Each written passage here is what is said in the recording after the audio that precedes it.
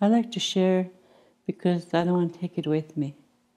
I want people to, especially young women, Ava, my great grandchild, I want to be like you, Grandma, when I grow up.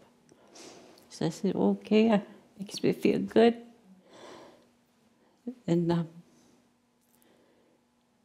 she, she helps me.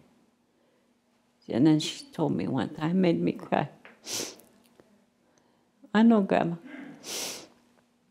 You waiting for go to go, go see Grandpa. I didn't say nothing.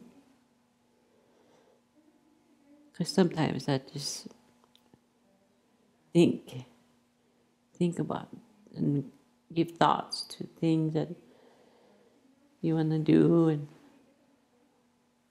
prepare yourself.